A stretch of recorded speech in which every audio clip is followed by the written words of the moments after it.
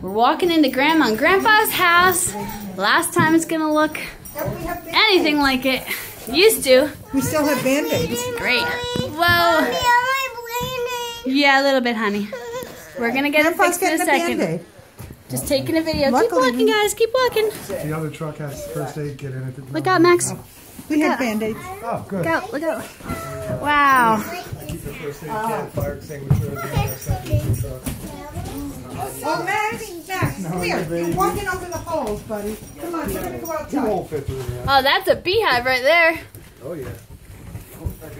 Wow. And we and we need Still wonder good shape why it was cold in there. Wonder why it was cold. There was no insulation in some places. None. The heat's off now completely. I hope so. When we drop the water, Evie, Grandma's talking, Evie.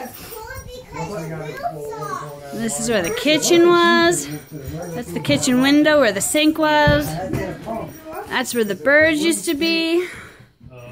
That was the dining room. And uh, my bedroom at one point.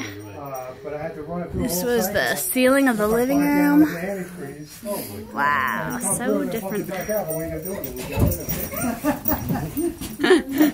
just wants to, wants to play.